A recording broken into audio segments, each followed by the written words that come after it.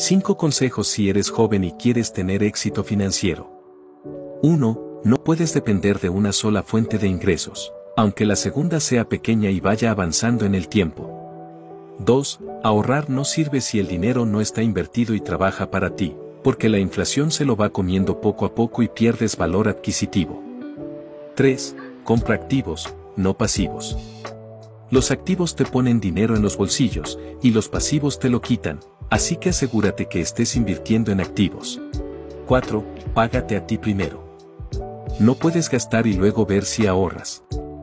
Primero debes separar algo de dinero para ahorrar y luego debes pagar tus gastos de vida. De esa manera siempre vas a tener dinero disponible para invertir y así cumplir con el consejo número 2. 5. Todo el dinero que ganen tus inversiones lo tienes que volver a invertir. Esa es la octava maravilla del mundo, que es el interés compuesto. Así que, si haces estas cosas y me sigues te vas a retirar millonario.